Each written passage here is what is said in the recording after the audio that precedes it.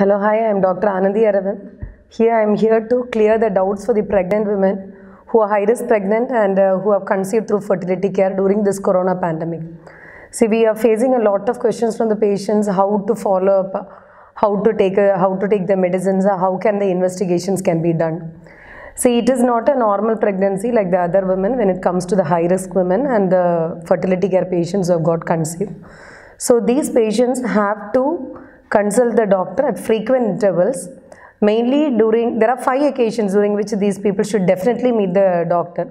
So they can use the telecommunication during this time to get an appointment in the hospital to the particular consultant whom they are meeting with. These patients can contact the hospital through the phone and they can get an appointment from the consultant doctor and they can meet the doctor in person with a less number of caregivers. See, try to avoid as much as number of caregivers whom you are coming to the hospital.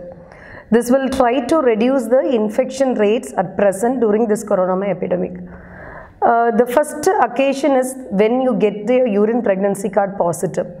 So, though you people will be filled with a lot of joy, you'll have a lot of doubts. What can we do during this period? Whether these people will be allowing us to the hospital or will we be able to meet our consultant? Definitely, we are there to help out you. What you can do is you can intimate your local police station that we have people are pregnant, we will have to go meet the consultant definitely. Just contact the hospital through the phone, get an appointment. Just come to the hospital in person with a single caregiver. Consult your doctor, get all your doubts clarified. Maybe your doctor may be asking to take a dating scan and some of the few investigations. If these investigations turned out to be positive and these results are good and your dating scan is good, then she may prescribe you medicines for maybe one or two months. And the next occasion when you're supposed to meet the hospital is during the 12 to 13 weeks, which is an important time for particularly the high risk patients and fertility care patients. Because this is the period when we people can detect some anomalies, what the uh, babies are going to have, or certain other factors like pre-eclampsia.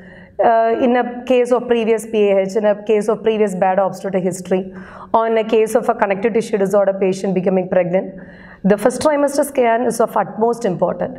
So these people will have to get the scan done between 12 to 13 weeks. We call it as an NT scan in the other name or else it can be taken as a non-invasive prenatal testing.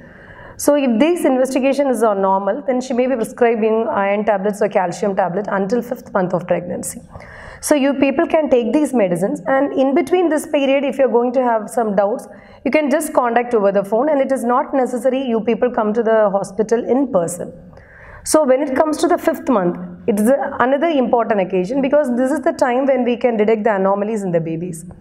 So if your anomaly scan seems to be normal, and your antenatal investigations, particularly your OGCT, your BP, your weight gain and other basic investigations turn to be normal, then she may prescribe you medicines for maybe one or two, two months during this lockdown period so that you can minimize the number of hospital visits. If you're in your seventh and eighth month, then it doesn't matter. If you're able to perceive the fetal movements around 10, 10 to 12 times per day and your weight gain is normal, your BP is normal and uh, when you feel that you don't have any complaints like bleeding or abdominal pain or dysuria then you can just contact your contact your doctor through the phone and you can continue your pregnancy sitting at the home. And you can take it as a 14 days quarantine or you can take it as a period when you can minimize the risk of infection from other person coming to the hospital. Then when it comes to the 8 month scan for high risk patient like GDM uh, PAH, a patient with cardiovascular disease getting pregnant or a fertility care patient becoming pregnant.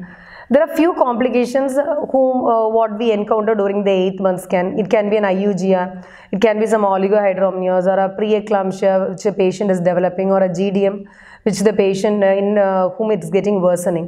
So this time also you will have to get an appointment and you have to meet the consultant in person. If these times are going to be normal, and if certain patients may have your delivery time during this April month. So they may be in panic how we are going to get delivered? Will these people conduct normal delivery or will they take up for a cesarean section? Nothing like that. And this corona pandemic is not going to alter your mode of delivery. Uh, you can proceed with your normal delivery or cesarean depending upon the risk factor what you are going to have. So mode of delivery is not altered due to this corona pandemic. And if you have delivered well, then the next doubt what you may have is regarding breastfeeding.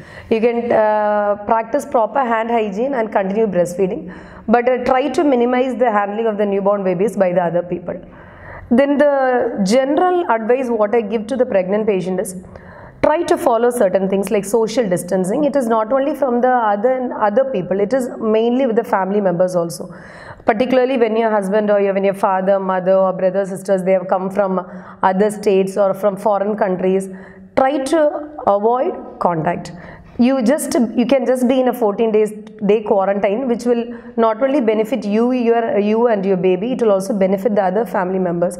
Because when a pregnant woman gets into a problem, the whole family will have to face the consequences.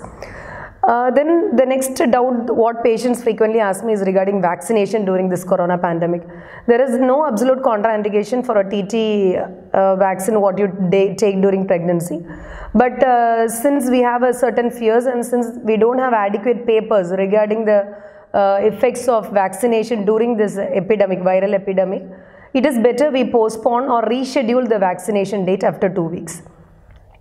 So, uh, these fertility care patients and the high risk patients do take utmost care on yourself. Avoid frequently traveling outside. Practice proper hand hygiene and we are always there to help you. Thank you.